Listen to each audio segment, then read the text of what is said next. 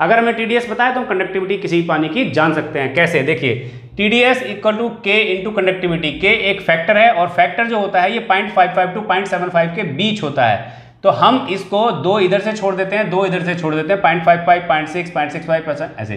तो mid point point six five है तो मैं इसको कर लेता हूँ T D S equal to point six five into conductivity ठीक है? फ्रेंड्स ये फॉर्मूला हो गया और आप, ये थंब रूल है, ये एग्जैक्ट डिज़ाइन रूल नहीं है। अगर आपको किसी की टीडीएस पता है, मान लीजिए मुझे पता है टीडीएस साढ़े छः सौ है, मैंने टीडीएस मीटर से नाप ली point six five into conductivity तो अब मैं यहाँ से अगर कंडक्टिविटी निकालूँगा तो कंडक्टिविटी इक्वल टू 650 बटे पॉइंट सिक्स फाइव और इसको करने के बाद आएगा एक हज़ार।